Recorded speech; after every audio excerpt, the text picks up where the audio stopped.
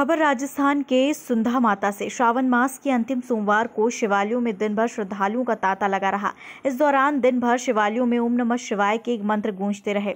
अंतिम सोमवार और सोमवती पूर्णिमा पर अल सुबह स्थानीय बोटेश्वर महादेव मंदिर, कारलू, धुंधलेश्वर महादेव गाजीपुरा, नीलकंठ महादेव मंदिर, कोडिटा, आडेश्वर महादेव मंदिर, कोडी सारणेश्वर महादेव राजपुरा, झरनेश्वर महादेव मंदिर सहित दर्जनों गाँव में स्थित शिवालयों में शिव की प्रतिमा को बेलपत्र और फूलों से सजाकर दुग्धाभिषेक और जलाभिषेक कर पूजा अर्चना की। पंडित दिनेश दवे कार्लू ने बताया कि बोटेश्वर महादेव मंदिर में ब्राह्मणों द्वारा श्रावण मास के दौरान नियमित मिट्टी के इक्यावन सौ चिंतामणि पर्वतेश्वर का निर्माण श्रद्धालुओं में आस्था का केंद्र बना हुआ है।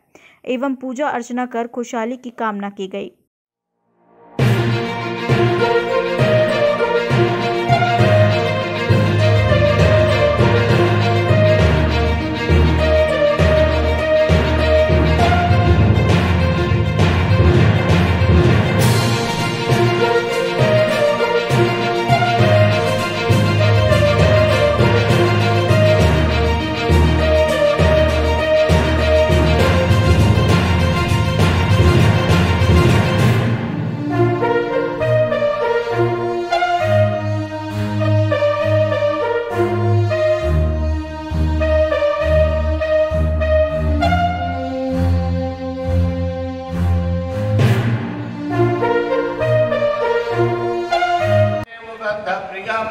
वंदे भक्तजनाश्रियं च वरदो वंदे शिवां शङ्करं सां सदा शिवाय नमो भृङ्मृत्युञ्जय महादेव त्रैमूर्जने मोदके द्वारि हार चढ़े फूल हर चढ़े मेवा। हार चढ़े फूल चढ़े हर चढ़े मेवा।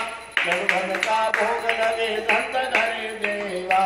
लड़भन का भोग लगे धरे देवा। जय